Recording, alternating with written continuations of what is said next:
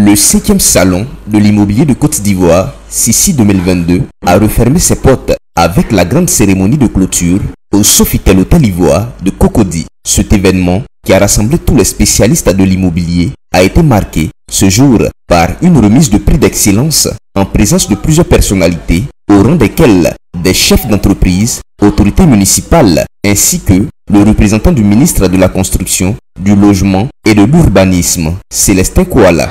Utilisons de très bons matériaux comme des lames de verre, sont des matériaux qui permettent de maintenir la fraîcheur à l'intérieur des maisons.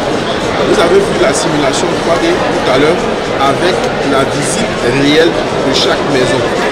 Pour dire quoi? Pour dire que la modélisation 3D que vous voyez là n'est pas juste faire du virtuel pour du virtuel, mais c'est effectivement ce que vous voyez là que nous construisons. Et nous avons déjà des acquéreurs. Hier, nous avons une, un acquéreur qui était là, qui, était, qui a fait même la publicité. Nous avons déjà des maisons qui sont sorties du terre, plusieurs maisons. Nous demandons à la population de venir maintenant. Mais il n'y a pas que les villas, il y a aussi des appartements.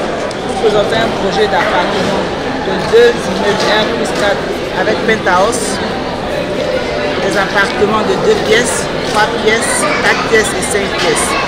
À côté de ceux-là, nous avons des villas duplex dans la zone de Fekese, de Gerville toujours, les villas duplex de 5 et de 6 pièces avec piscine. Notons que nos appartements sont très très spacieux, les aménagements sont parfaits et d'ailleurs lors de ce salon, nous venons de remporter le prix du meilleur projet appartement standing. C'est vraiment une grande fierté, un grand honneur. C'est aussi euh, le qui correspond à un très très grand travail, un grand professionnalisme, une grande rigueur.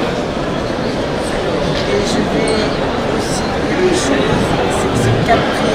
Ce a deux avantages.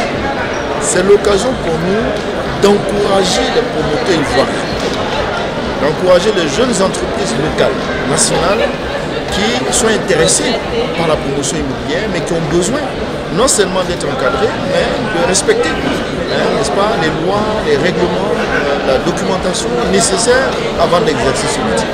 Donc ça, c'est la première chose. La deuxième chose qui est importante, c'est que c'est l'occasion pour les Ivoiriens de se rapprocher de promoteurs connus et agréés, c'est-à-dire autorisés à exercer la profession de promoteur immobilier. Comme cela, ça va leur éviter les écueils. La cinquième édition du Sissi a vu la présence effective de 25 000 visiteurs, une centaine d'exposants et 300 experts